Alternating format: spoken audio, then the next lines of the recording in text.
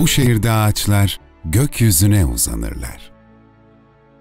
Ne varsa Pendik'te var.